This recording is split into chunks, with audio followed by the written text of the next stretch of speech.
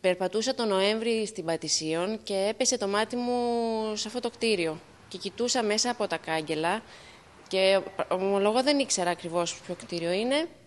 Τροπή λίγο κιόλας, αλλά δεν ήξερα, ούτε ήξερα τι συμβαίνει εδώ.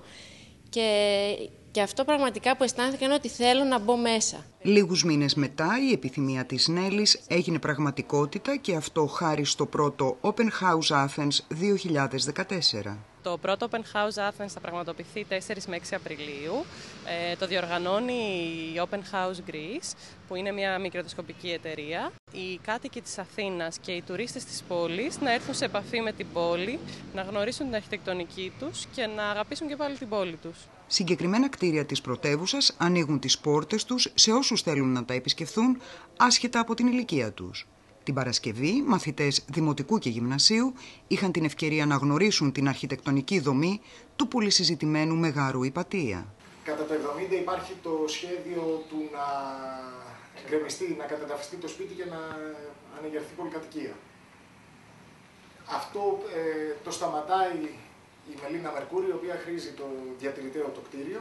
Τα παιδιά έχουν ενθουσιαστεί, ήρθαν με χαρά ήταν λίγο κουρασμένα γιατί για αυτούς είναι μέσα στα σχολικά πλαίσια, αλλά νομίζω το ότι βλέπουν κάτι διαφορετικό για αυτούς είναι χαρά και έπρεπε να είναι προσεκτικοί γιατί εδώ ο χώρος έχει πάρα πολλά ακριβά πράγματα και είναι και εύθραυστα και πρέπει να, τους, να τα προσέχουμε τα παιδιά. Ήταν και έφηβοι και είχαν κάποια έτσι, πιο μεγάλη κινητικότητα.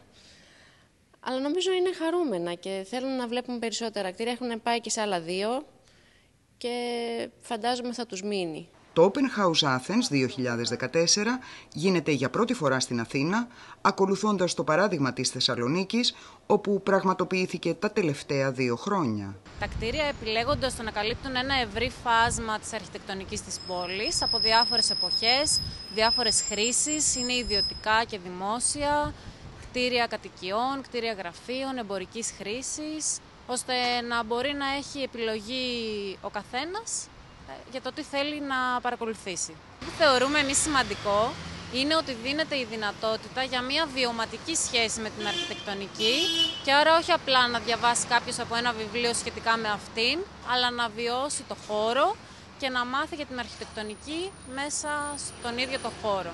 Τα κτίρια με τα ιδιαίτερα αρχιτεκτονικά χαρακτηριστικά θα είναι ανοιχτά για το κοινό το Σάββατο και την Κυριακή 5 και 6 Απριλίου.